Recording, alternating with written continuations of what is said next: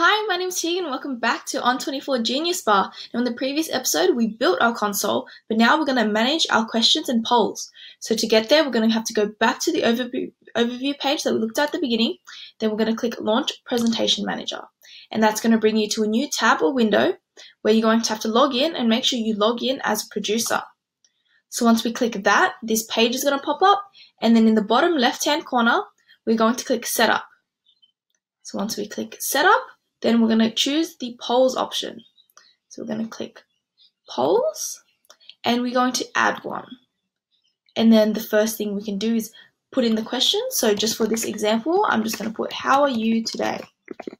And then the type of answer, you've got a couple of options. You've got multi-choice, single answer, so the audience can pick one answer. You've got multi-choice, multi-answer, so can, they can click multiple. Single answer, as in they just click, or free text is they can type any answer that they want for this example, we're just going to click multi-choice single answer. And the display, you can either get a pop-up window or slide window. Now, if you decide to choose a pop-up window, you've got the duration, so how long you can stay there, 30 seconds, minute, or two minute, or a play or and a play audio alert, so that will alert the audience.